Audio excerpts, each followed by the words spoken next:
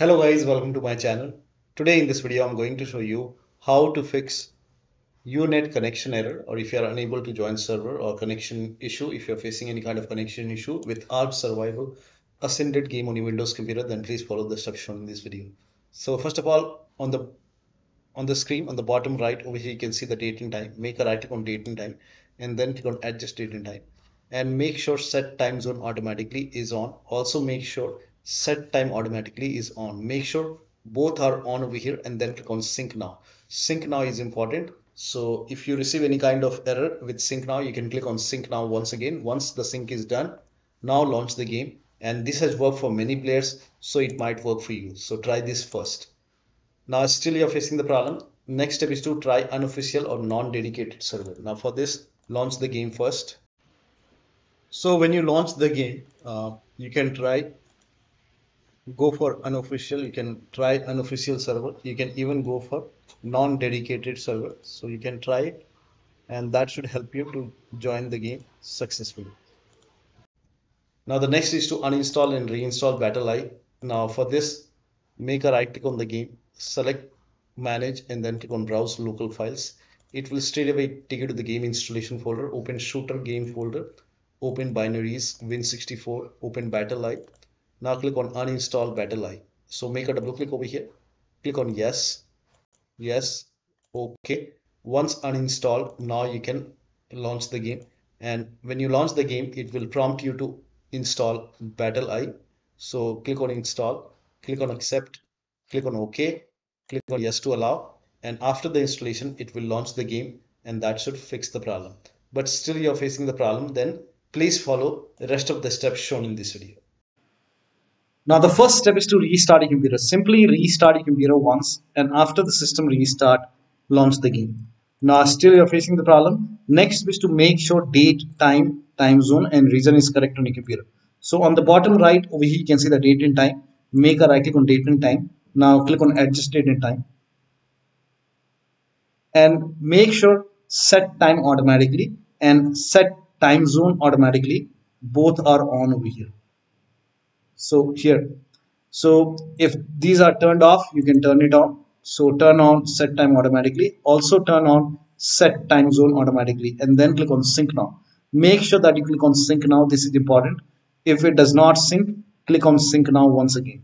And then go to language and region and make sure right country is selected over here. Make sure that you have your country selected over here and then launch the game.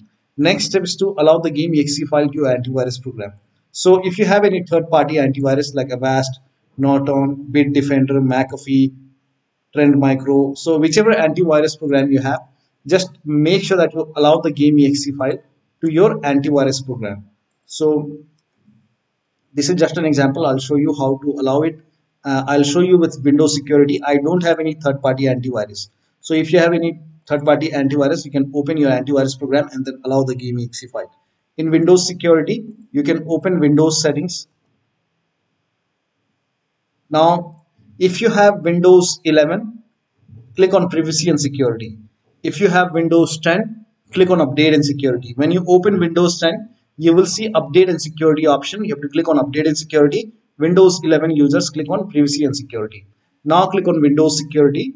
Now click on virus and threat protection. Now scroll down. At the end you will see manage ransomware protection click on manage ransomware protection. Now click on allow an app through control folder access. Click on yes to allow and then click on add an allowed app. Now click on browse all apps. Now go to the game installation folder. So wherever the game is installed if the game is installed in c drive open c drive program file x86 now if the game is installed installed from steam then you can open steam and then open steam apps now open the common folder. Over here you will find the game folder. In now if the game is installed like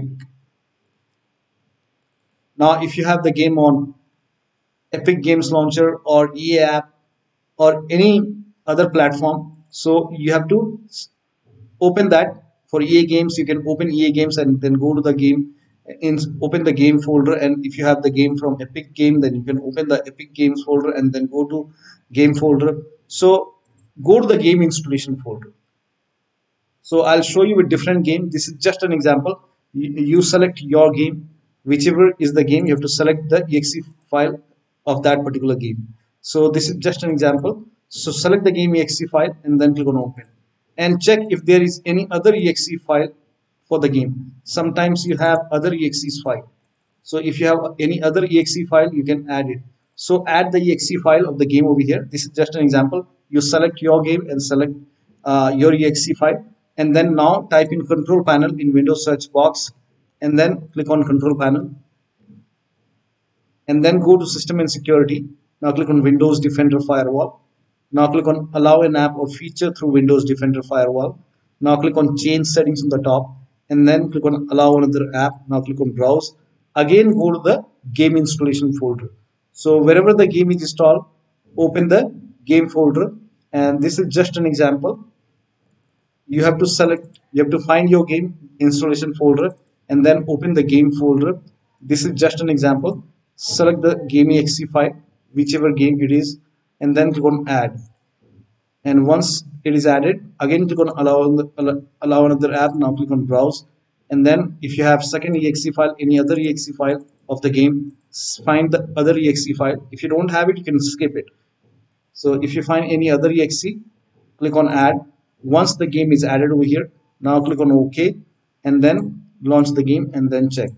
Now the next step is to perform power cycle. To perform power cycle first of all shut down your computer so shut down your computer.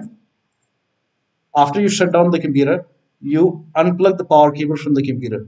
So disconnect the power cable and after you disconnect the power cable press and hold the power button on your computer for a few seconds. This will release the static electricity from the computer and then after a few seconds once you press and hold the power button for a few seconds after that you can release the power uh, you can release the power button key. Now you can turn off the Wi-Fi router. So turn off your Wi-Fi router and then wait for a few seconds and then restart your Wi-Fi router. And then after that restart your computer and then you can launch the game and then check. Next step is to disable manual proxy. Now for this open windows settings. Go to network and internet. The steps are same for windows 10 users. Now once you go to network and internet now in windows 10 uh, on the left hand side you will find proxy when you select network and internet on the left hand side you will find proxy so click on proxy and then if manual proxy is on over here in my case this is already off so if manual proxy is on you can turn it off and then launch the game now the next step is to run this command. These commands are provided in the video description. So type in cmd in Windows search box and then make a right click on command prompt app and then click on run as administrator. Click on yes to allow and run all the commands one by one. So copy the first command, paste it on the command prompt window, hit the enter key. Now run the second command, paste it, hit the enter key. Make sure that you select the command properly so I think I may have made a mistake over here so make sure that you copy it exactly and then run all the commands one by one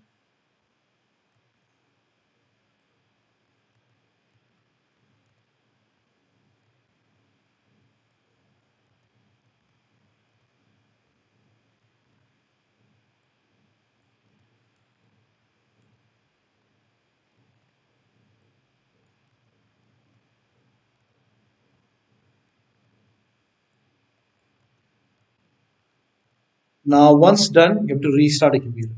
Make sure that you restart a computer after this. Restart is a must. Now, after the system restart, you can check. Now, the next step is to perform network reset. Now, before you perform network reset, make sure that you have the Wi-Fi password because once you perform network reset, when you restart a computer, it will restart during the network reset. The system will restart, and when you try to connect to your network, it will be asking for your password. So make sure that you have the password to perform network reset. Again, open Windows settings. And the steps are same for Windows 10 and users, 10 and 11. So go to network and internet. And in Windows 10, when you select network and internet, when you scroll down at the very bottom, at the end, you will find network reset option in Windows 10. In Windows 11, click on advanced network, network settings, then you will find network reset. And then click on reset now, and then click on yes, and once you click on yes I'm not clicking yes but you can click on yes. Now once you click on yes your it will perform a network reset and it will restart your computer. And after the system restart when you try to connect to your Wi-Fi it will be asking for your Wi-Fi password. So it will be asking for your pass password enter the password and then log in and then launch the game and then check. Now if you have any other network you can try switching to different network for this if you have any other network available you can connect to different so you can connect to different internet different network. And once you're connected now you can try to launch the game. Now the next step is to use use ethernet connection. So if your computer has an ethernet port and if you have an ethernet cable you can use ethernet connection. So you can go for wired connection and that will provide you stable connectivity so you can go for ethernet connection and then launch the game and then check now the next step is to the last step is to update your windows so open Windows settings, go to update and security or Windows update and then click on check for update. Once all the updates are installed, restart your computer and after the system restart, you can launch the game and then check. Now the last step is to verify the game files. Now for this, make a right click on the game, select properties, go to the install files and then click on verify integrity of game files. Once the verification is done, now you can launch the game and then check. So one of the steps shown in this video should help you to fix the connectivity issue with the game. So that'll be all. Thank you so much for your time and please like this video and subscribe to my channel.